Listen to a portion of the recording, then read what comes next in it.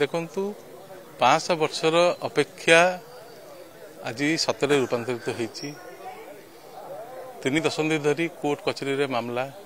ସବୁର ଅନ୍ତ ଘଟିଛି ଏବଂ ଆସନ୍ତାକାଲି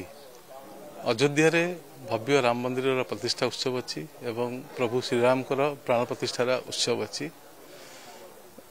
ସେହି ପରିପ୍ରେକ୍ଷୀରେ ଆମର ଯଶସ୍ୱୀ ପ୍ରଧାନମନ୍ତ୍ରୀ ନରେନ୍ଦ୍ର ମୋଦିଙ୍କର ଆଗ୍ରହ କ୍ରମରେ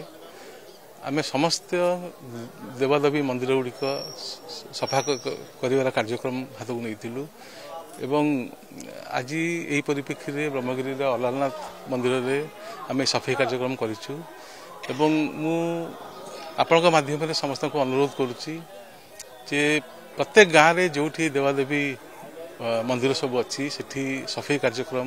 ପ୍ରଧାନମନ୍ତ୍ରୀଙ୍କ ଯେମିତି ଆଗ୍ରହ ଅଛି ତାକୁ ଚାଲୁ ରଖନ୍ତୁ। ଏବଂ କାଲିର ଉତ୍ସବ ପାଇଁ ସାରା ଭାରତରେ ଘରେ ଘରେ ସମସ୍ତଙ୍କ ମନରେ ଖୁସିର ବାତାବରଣ ଖେଳିଯାଇଛି ଏବଂ ସେଥିରୁ ବ୍ରହ୍ମଗିରି କେମିତି ଅଲଗା ହୋଇ ରହିବ। ତେଣୁ ବ୍ରହ୍ମଗିରିର ମଧ୍ୟ ସେହି ଉତ୍ସବର ମାହୋଲ ଅଛି। ସମସ୍ତେ ମନରେ ଅଜସ୍ର ଆନନ୍ଦ ସମସ୍ତଙ୍କ ମନରେ ଅଛି। ଏବଂ ମୁଁ ମଧ୍ୟ ଆପଣଙ୍କ ମାଧ୍ୟମରେ ଆହ୍ୱାନ କରିବି ନିବେଦନ କରିବି ସମସ୍ତଙ୍କୁ ଯେଉଁଭଳି ଭାବରେ ଚଉଦ ବର୍ଷ ବନବାସ ପରେ ଶ୍ରୀରାମ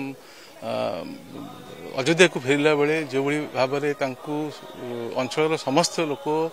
ଭବ୍ୟ ସମ୍ବର୍ଦ୍ଧନା ଦେଇଥିଲେ ଘରେ ଦୀପ ଜାଳିକିନା ବାଣ ଫୁଟେଇକିନା ଏକ ଦୀପାବଳିର ଉତ୍ସବ ମନେଇଥିଲେ ସେହିଭଳି ଆସନ୍ତାକାଲି ଯେତେବେଳେ ବିଗ୍ରହ ଶ୍ରୀରାମଙ୍କର ଯେତେବେଳେ ପ୍ରାଣ ପ୍ରତିଷ୍ଠା ହେବ ତାପରେ ସନ୍ଧ୍ୟାବେଳେ ସମସ୍ତ ମା ଭଉଣୀମାନଙ୍କୁ ମୁଁ ନିବେଦନ କରିବି ଯେ ଘରେ ଘରେ ଦୀପ ବସାନ୍ତୁ ମନ୍ଦିରରେ ପୂଜା ଅର୍ଚ୍ଚନା ଚାଲୁ ରହୁଥାଉ ଏବଂ ଭାରତରେ ଯେଉଁ ଖୁସିର ବାତାବରଣ ସୃଷ୍ଟି ହୋଇଛି ସେଥିରେ ଆମେ ସମସ୍ତେ ସାମିଲ ହଉ ଏଇଟା ମୋର ସମସ୍ତଙ୍କୁ ନିବେଦନ ଯଦି ଆପଣଙ୍କୁ ଆମ ଭିଡ଼ିଓଟି ଭଲ ଲାଗିଲା ତେବେ ଆମ ଚ୍ୟାନେଲକୁ ଲାଇକ୍ ସେୟାର ଓ ସବସ୍କ୍ରାଇବ୍ କରିବାକୁ ଜମା ବି ଭୁଲନ୍ତୁ ନାହିଁ